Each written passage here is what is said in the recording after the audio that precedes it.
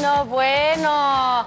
Oigan, si ustedes usan muchísimo el WhatsApp, como lo está haciendo René, que no me está haciendo caso, pero no le sabe a todos sus trucos, Wikichava nos va a dar una maestría en WhatsApp. Vamos a ver su nota y ahorita también platicamos.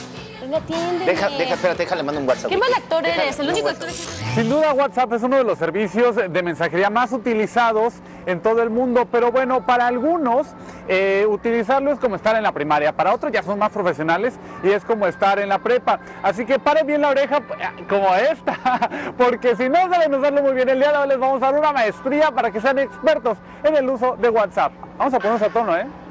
De acuerdo a cifras de Facebook, cerca de 800 millones de personas en el mundo usan WhatsApp. Algunos son más profesionales que otros en su uso, por eso esta es una maestría de 5 módulos de mucha utilidad. Módulo 1. Quitar el visto. Evite divorcios y enojos.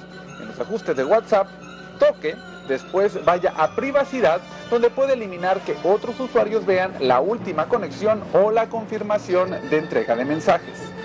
Módulo 2. Usar WhatsApp Web. Es muy fácil, solo se debe entrar a la página web.whatsapp.com. Después, desde el teléfono, dirígete a Ajustes, toca WhatsApp Web, escanea el código y listo. Desde tu computadora, escribe los mensajes. Recuerda, tu teléfono debe tener internet para que funcione el servicio web. El tercer módulo de esta maestría es una invitación para que utilicen el micrófono y no me refiero para mandar únicamente audios, me refiero al micrófono para que le puedan dictar. Eso significa que este pues en lugar de estar nada más así como que agachados escribiendo, pueden levantar el teléfono y nada más dictarle ya se escribe solito. Módulo 4. Envía mensajes a tu correo. Es posible crear respaldos de tus mensajes tocando la parte superior de la conversación. Después te vas a la parte de enviar chat por correo. O para evitar mandar mensajes a uno por uno o para no crear grupos, puedes mandar mensajes a varias personas a través de difundir mensaje. Módulo 5. Silencia grupos o personas. Si te cansa estar en tantos grupos o recibir mensajes a cada rato de una persona, puedes irte al chat individual o de grupo y seleccionar silenciar. Lo puedes hacer por horas, semanas o un año. Y pues ya nada más falta la graduación.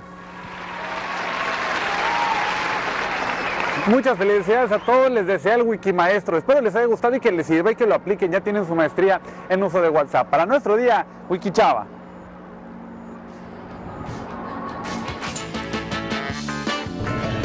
Soy Marta Figueroa. Los invito a que vean nuestro día y a que se suscriban a nuestro canal de YouTube. Cadena 30, la televisión más abierta que nunca.